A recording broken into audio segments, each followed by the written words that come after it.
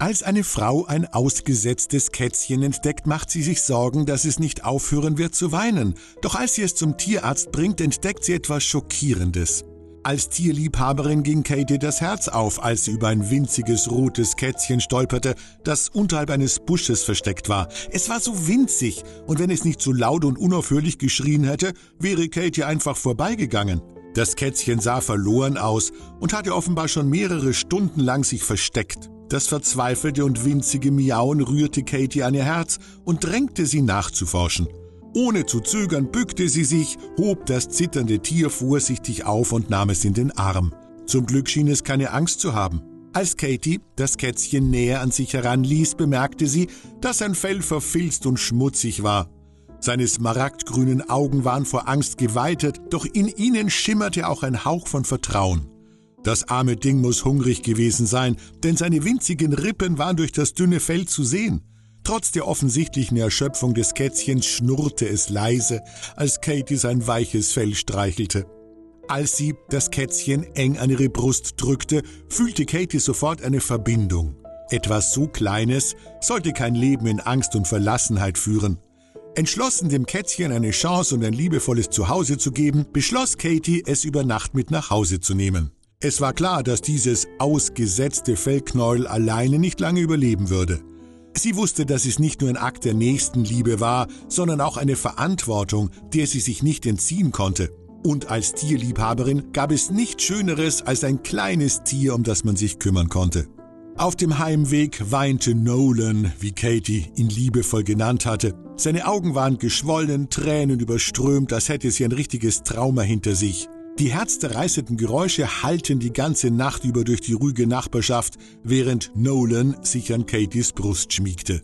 Sein winziges, aber beständiges Miauen zerrte an ihren Gefühlen. Katie versuchte sanft und leise mit Nolan zu sprechen, um das kleine Tier zu beruhigen. Sie hoffte, dass das Weinen aufhören würde, aber es schien von Stunde zu Stunde schlimmer zu werden. Sie konnte Nolan nicht einfach dorthin zurückbringen, wo sie ihn gefunden hatte, nicht in diesem Zustand. Katie wusste, dass sie die Pflicht hatte, sich um das verletzliche kleine Wesen zu kümmern. Das Kätzchen aß sein Futter und trank das Wasser, aber es weinte weiter und selbst als sie es liebevoll in den Arm nahm, liefen immer noch Tränen über Nolans kleines Gesicht. Katie sehnte sich mehr als alles andere danach, sein Leid zu lindern, aber sie konnte nicht herausfinden, was ihm fehlte. Sie konnte sehen, dass es nicht verletzt war, zumindest nicht äußerlich, also vermutete sie, dass das, was ihm so viel Schmerz bereitete, von innen kommen musste. Da er so klein war, fragte sie sich, ob er vielleicht seine Mutter oder seine Geschwister vermisste. Der arme kleine Nolan weinte die ganze Nacht. Als der Morgen graute, beschloss Katie, zu dem Ort zurückzugehen, an dem sie ihn gefunden hatte. Vielleicht wollte Nolan ihr etwas sagen. Und sie würde vielleicht mit weiteren Kätzchen in den Armen nach Hause kommen. Aber der Busch war leer und kein Katzenfutter schien auszureichen, um ein anderes Kätzchen hervorzulocken. Katie hatte mit ihrer ersten Einschätzung recht gehabt. Nolan war ganz alleine auf der Welt. Seine Familie war verschwunden oder hatte sich irgendwo verirrt. Leider bedeutete das auch, dass er nicht aus Einsamkeit weinte, sondern dass es noch ein Problem zu lösen gab, Ratlos beschloss Katie, Nolan in eine Tierarztpraxis zu bringen, um professionellen Rat einzuholen. Sie hatte alles getan, was ihr einfiel. Es war sogar noch schlimmer geworden, denn das Fell um seine Augen war durch das viele Weinen wirklich verfilzt und nass geworden. Auch sein verzweifeltes Miauen zeigte, dass irgendetwas nicht stimmte. Bevor sie zur Tür hinausging, hatte Katie noch einen letzten Versuch. Sie probierte eine Weile mit ihm zu spielen, säuberte sogar sein verfilztes Fell und die nassen Augen, aber Nolan blieb in seinem traurigen Zustand. Die Tatsache, dass scheinbar nichts ihn beruhigen konnte, war für Katie schrecklich. Da sie jahrelang als Freiwillige in Tierheimen gearbeitet hatte, war sie es gewohnt, Tieren zu helfen und sie wieder gesund zu pflegen, aber es schien, als könnten all die Jahre harter Arbeit und Ausbildung Nolans Leiden nicht lindern.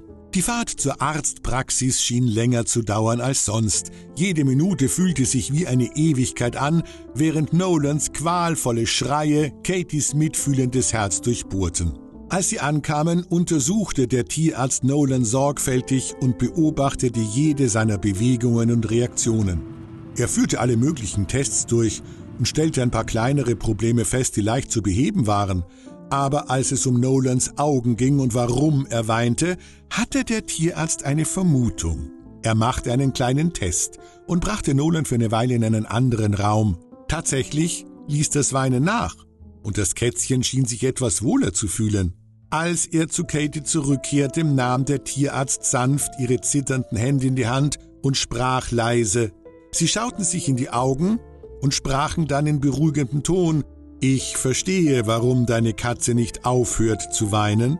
Sie ist auf irgendetwas allergisch und das sind wahrscheinlich die Kosmetika, die du benutzt hast. Katie war verblüfft von dieser unvorstellbaren Enthüllung und ihre Gedanken überschlugen sich, um sich an mögliche Wechselwirkungen zwischen ihren Kosmetika und dem Kätzchen zu erinnern. Ihr wurde klar, dass sie vielleicht versehentlich Spuren ihres Make-ups auf Nolan übertragen hatte, als sie ihn in diesen schlaflosen Nächten an sich drückte. Sie hatte Make-up und Parfüm getragen, seit sie Nolan unter dem Busch entdeckt hatte, und da hatte das Weinen begonnen.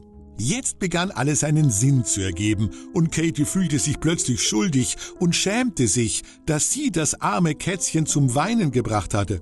Zum Glück war der Tierarzt sehr verständnisvoll und versicherte ihr, dass sie auf keinen Fall von einer solchen Allergie wissen konnte. Er riet ihr, keine Kosmetika zu tragen, wenn sie mit der Katze zu tun hatte, und eine saubere Umgebung für ihn zu schaffen. Katie nahm sich diesen Rat zu Herzen, änderte sofort ihren Tagesablauf, um den Bedürfnissen des Tierchens gerecht zu werden. Sie entsorgte gewissenhaft alle Kosmetikprodukte, die ihm schaden könnten, und setzte sich mit ganzem Herzen dafür ein, ihm einen sicheren Raum zu bieten. Sie suchte sogar im Internet nach Kosmetika, die Nolans Allergie nicht auslösen würden, und gab ein kleines Vermögen aus, um ihre Vorräte mit katzensicheren Produkten aufzufüllen. Schon wenige Stunden nach der Einführung dieser Änderung zeigten die einst traurigen Augen des Kätzchens erste Anzeichen einer Besserung, da die allergischen Reaktionen nachließen. Das unaufhörliche Miauen ließ allmählich nach, bis es schließlich verstummte. Dieser Abend war ein wichtiger Wendepunkt für Katie und Nolan. Als sie zusammen auf der Couch saßen, wurde die Bindung immer stärker. Er schmiegte sich ihren Schoß und fühlte sich vielleicht zum ersten Mal in seinem kurzen Leben sicher. Von diesem Moment an wurden sie zu unzertrennlichen Gefährten. Katie widmete sich nicht nur der Aufgabe, Nolan wieder gesund zu pflegen, sondern überschüttete ihn auch mit endloser Liebe und Zuneigung. Dank ihrer Geduld und ihres unermüdlichen Einsatzes konnte sie ihm ein Zuhause für immer geben. Im Laufe der Zeit wurde Katie Zeuge, wie nahtlos sich Nolan in ihr Leben einfügte und ihr Freude und Glück im Überfluss brachte. Sein unaufhörliches Weinen hatte sich in ein freudiges Schnurren verwandelt, das Katie versicherte, dass sie an jenem schicksalshaften Tag die richtige Entscheidung getroffen hatte. Und jetzt bist du dran. Was hältst du von dieser besonders bewegenden Geschichte? Was hättest du bei einem ausgesetzten Kätzchen getan? Und wie hättest du auf die schockierende Wahrheit reagiert, dass er allergisch auf die Kosmetika war? Wie immer freuen wir uns, wenn du uns deine Meinung mitteilst, unten in den Kommentaren.